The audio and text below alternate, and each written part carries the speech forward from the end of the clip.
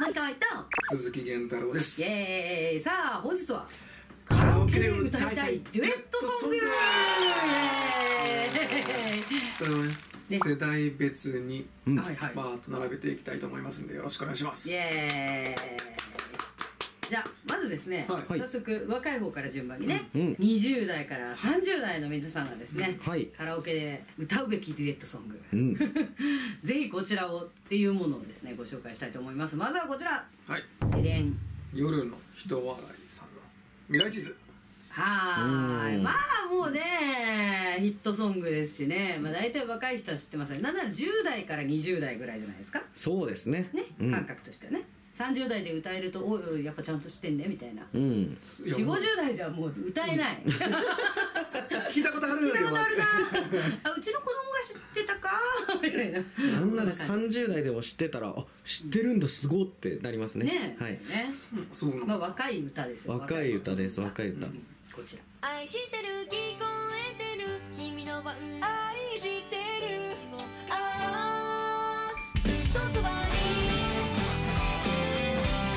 まあいいね。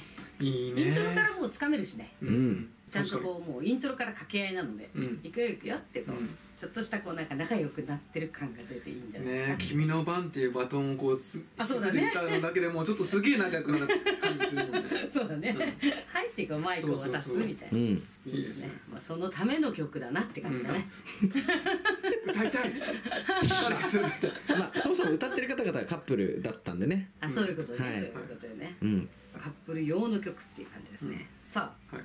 続きまして。続きましてちょっと世代が上がりますが。綾香小袋のはい。ワワインディングロード。ん言えてなかった今 ワインディングロード、あワインディングロードってこういう曲がりくねった道ってそうそうそうああそれで。そのまま歌詞になってるよね。はい。曲がりくねっただもんね。そうだねこれあのデュエットソングの代表的なやつですよね。そうですね。うん。はい。女性ボーカルも男性ボーカルもこうちゃんと見せどころがありつつ綺麗にハモれるとこうちょっとかっこいいよみたいな。うん。ところがね曲がりくねった。道の先にまだ遠くて信じてゆこうっていうこれですね。これはねハモリが歌えたらかっこいいっすね。そうだね、うん。これね頑張ってハモらなくても、うん。実は女性が上の高いキー歌って、はい。男性がユニゾンで下のキー歌ってというか、うん。そのまんま同じメロディーをうん。男性ボーカルと女性ボーカルとっていう風にはい。歌うと、うん。それだけでちょっとあ。デュエットしてる風な感じになるからあそうなんですね。そうそう。安ハモれるとかっこいいけども。安心しました。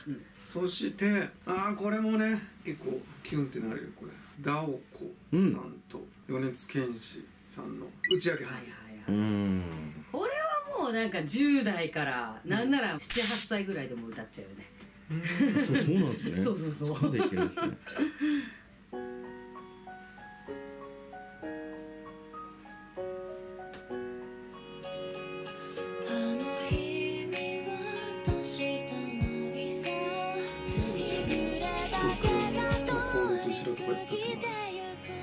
光って咲いた花火を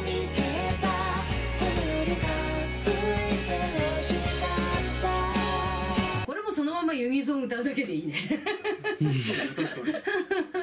いいじゃない簡単でいいねちゃんとデュエットって感じですね、うん歌いたいただね歌いたいだんだんあれだね玄ちゃんの寂しさが募ってくるねそうだね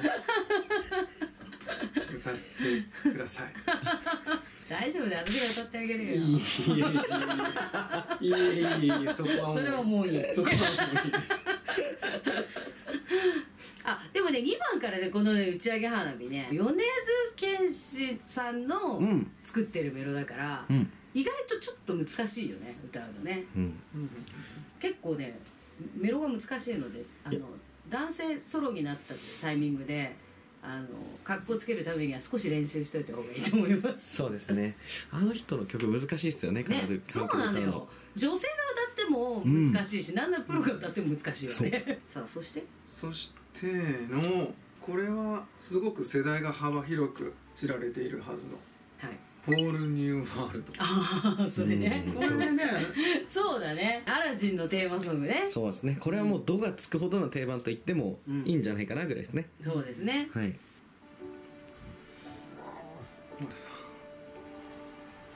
Now, when did you last let your heart? I can open your eyes, right? A whole new world.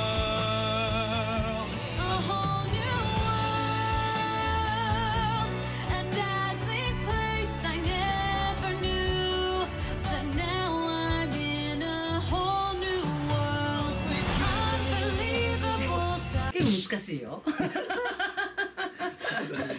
まずね英語。このまず英語。ねカラオケで作れるかな。いやこれで2人で仕込んでおかないとなかなかね、ちょっとかっこつかないとは思いますが、うん。女性ボーカルのメロがそこからこう男性ボーカルが重なってきてこう、みたいな、うん。結構どっちも単体で別なメロを歌ったりとかしてる感じなんで、うんそうですね。まあ一応日本版もあるんでね。そうだね。カラオケは選べるはずなんで。そうだね。英語が難しかったらそっちでもこれ女の子たち2人で歌うとかでもねなんかああそうだね。うんそうだね。はいそしてはいそして。まあ比較的2030代あ40代。そうだね。まあ大体そうだね。10代から30代40代ぐらいの、まあ、はいカラオケ行ってウェーイみたいなのが、まあ、好きな世代じゃないですか、ん。どっちかと言いますと、はい。でこっからですよ。ちょっと大人の方にうん。移動していきまして、そうです。ええ30代後半から40代50代はい。うん。この辺の人がですね、歌えるデュエットソングはい。ございまして、うん。まずこちら。はい「冬のファンタジー」懐かしい。歌ってるのはカカズねでも超流行ったよねこれね。でこの頃やっぱねいとこ同士のユニットみたいなのは、いまあ、多分ちょっと世の中で言うと初ぐらいのなんか珍しいみたいな感じだったしね、ううん。ん非常にまあそれこの歌売れたんですよね。う、ん。冬になったらみんなこれ歌うっていうね。真夜中に君の声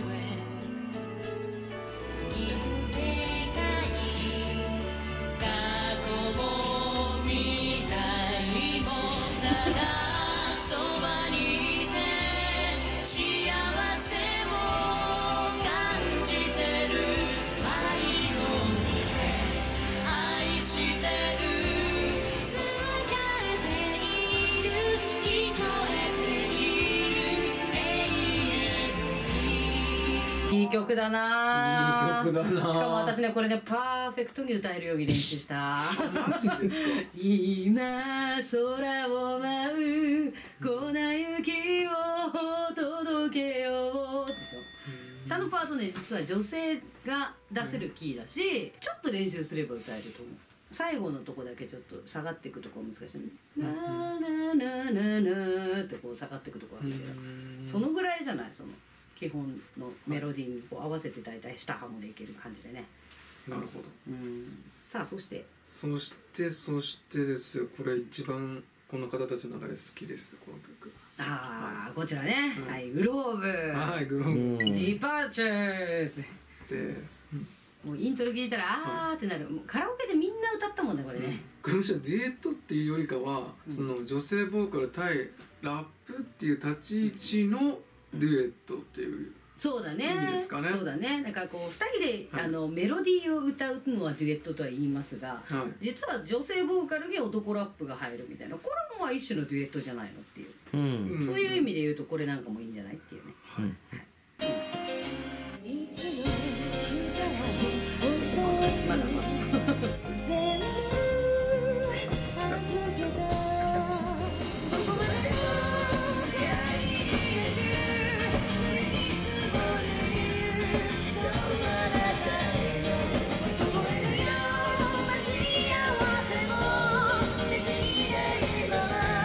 まこっちこっち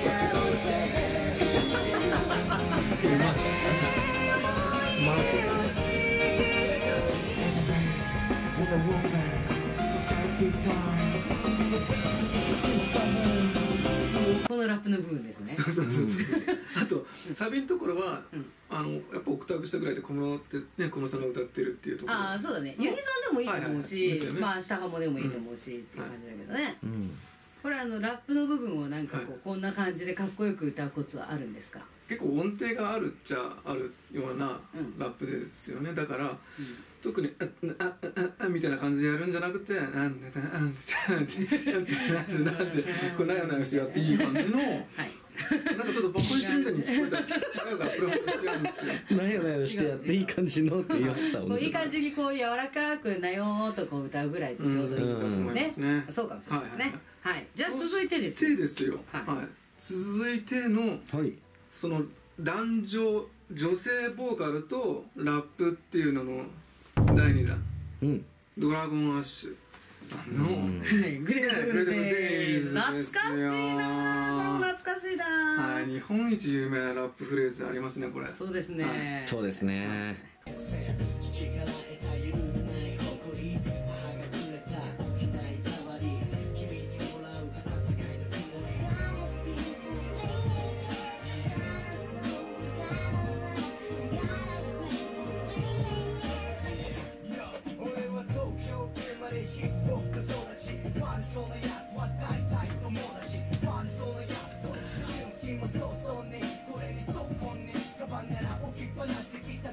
こういう感じの。うん。まあ私は絶対友達にならないと思うんだけど。ごちそうさまでした。かっこいいです。まあそうですね。かっこいいですね。はい。こういう感じが一番多分その我々の青春時代ぐらいの時にこう流行ってた感じ。です。ん。はい。これもこういうデュエットの仕方もあるよっていうね。さあそしてですね。はい。どちらかというと50代以上の方向け。うん。ん。それがこちら。はいロンリー・チャップリン。懐かしいね。どっちかというとスナックとかに行ったらうん。歌えるって聞かれて、ああなんとなく歌えますよって言って一緒に歌う歌うっていう感じの曲です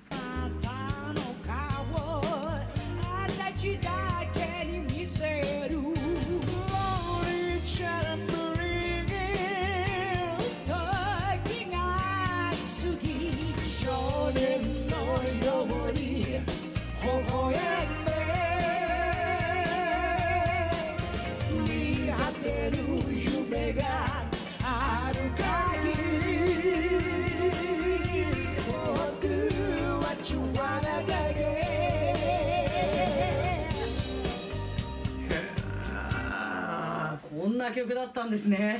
ねちゃんと聞いたことなかったんです。なんか両方ともサビに聞こえるね。あそうだね。いやこれね曲がねすごいねこのクオリティがね、そう曲のことに語り出すとあのそれはまた音楽チャンネルのあのなんかメインの方で別で語ればって感じだけどね。ほんとねすごい。昔の曲いい曲が多いからね。あと鈴木雅之さんが菊池桃子さんとやっていたあの渋谷で5時。うん。もね。あそうだね。いいですよね。うん、こういう感じのね。デュエットソングでね、い当時の。うんちょっとトレンディー感あふれる、はい。はい。そしてやっぱりデュエットソングといえばはい。50代以上の皆様こちら。うん。もしかしてパート2 懐かしい、ねパート2まで曲名ですね。そうなんだよね。だからパート2の方しか私知らないよ逆に。もう私ももしかしてパート2っていうタイトルしか見たことないの、うん。パート1はどこ行ったんだ？多分でもパート1あるんだと思うけど。なんか「もしかして」っていう曲があって、デュエット版がもしかしてパート2らしいです。あそういうこと？だからパート2入れてくれって言われるんだあのカラオケで。で 曲は同じだけど歌詞が違うらしいですね。さあそういね、え絶対知ってますよね。絶対知ってる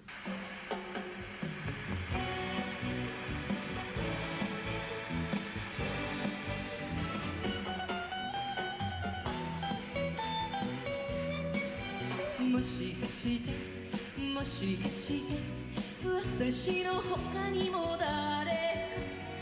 もしかしてもしかしてお前のすねてるわけがわからな仕事の相手だよ。ちょっと待ったこれすごい歌詞だな なんかすごくリアルな。ー。そう。すごいな。この居酒屋みたいなところででしょうか、ちょっと電話だっつって出ていく男 そこにすねる女。もう私以外の誰かいい人がいるんだったらもう帰っていいわよ。みたいな。すねたら男が言うんですね。バカな。仕事での嘘つけみたいな。嘘つけになるんですねそれは。わかんないけど。でも嘘っぽいよねとか言って。面白いねそういう感じのね恋の駆け引き中のうん。2人が歌うデュエットソングみたいな、そういう感じでしょうか。まあこれやっぱねあの50代以上の人だったら絶対知ってるデュエットソングだから、あの若い人が「あ歌いますよ」とかって言うと「おお歌おう歌おう」ってなるよね。おじさまが大喜びみたいな。そうっすね。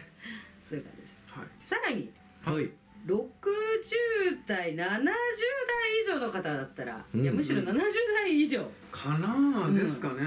本当親が大好き。あそうそうそうそう、はい。うん、私たちで言うと親の世代とかだったり、はうい。んまあね親戚のねあのおじさんとかっていううん。ぐらいの世代が絶対知っている。はい「銀座の恋の物語」うん。こちらねもうデュエットソングの定番中の定番というか私の知ってる限りのデュエットソングで一番古いやつですね。へ「銀恋」しびれるような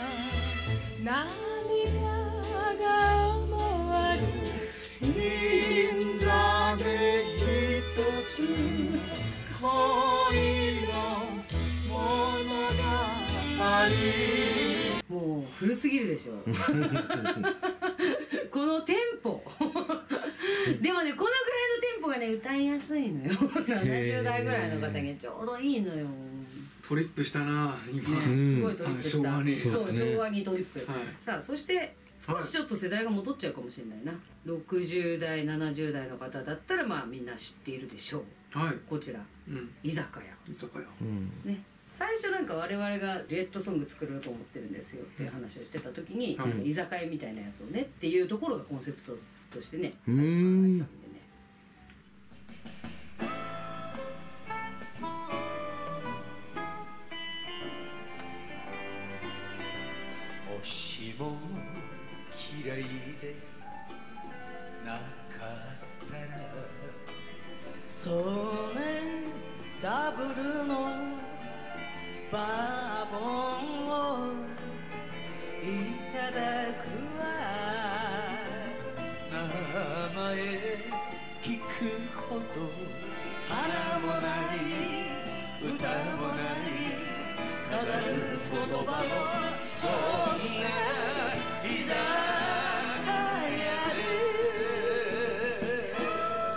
ってるでしょ。う 若い人も聞いたことあるんじゃない？この歌。今んとこだけ。あ知らない。すいません。えー、まだいいとかってね。あそっか知らない人もいるか。すいません。ここも大ヒット中の大ヒットソングなんですけど、うん。あのねこれ歌手がさすごいよね。タイトルも「居酒屋」って歌ってるじゃないですか、はい。でも最初彼女が頼んだお酒、ダブルのバーボンなんですよ。うん。明らかに2軒目なんですよ確か 身の上話を聞くほど野暮じゃないみたいな、うん。たまたま居酒屋で知り合っただけだからって言ってるけど2軒目でダブルのバーボン頼んでるからもうベロンベロンですよ。飲みすぎなんですよ。遠慮しないでもうもらっちゃうみたいな。確かにシチュエーションの、うんその先に何があるのかを想像させる歌ですっていう。なるほど。ね。がありますね。ね、そんな感じで、まあ、大体こうど全世代ねこう皆さんがこう知ってる曲ご紹介できたんじゃないかなと思うんですけど。はい。40506070なんなら80代の皆さんもこのこの曲さちょっとおまけなんだけど、うん。これちょっと聞いて懐かしくない？麦畑。およねーずの。オ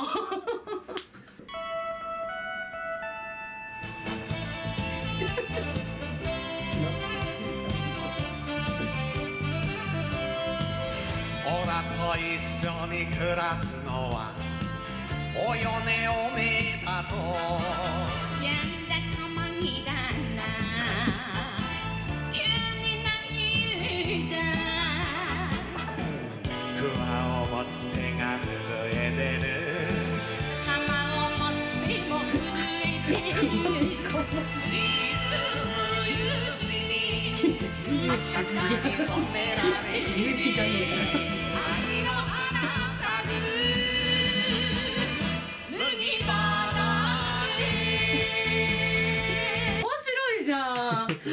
素晴らしい曲でしたマッツアンがおよねにプロポーズしてるんですよ。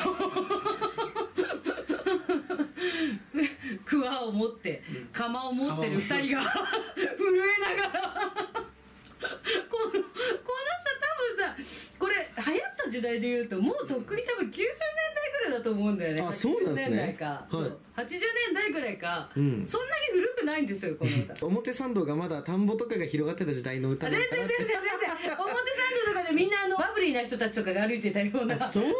ブルとかの時代の時だと思うよ。そのぐらい、うん、そんな懐かしの今時そんなやつはいないっていうのを歌いたければぜひ麦畑。歌ってみてはいかがでしょうか、うん。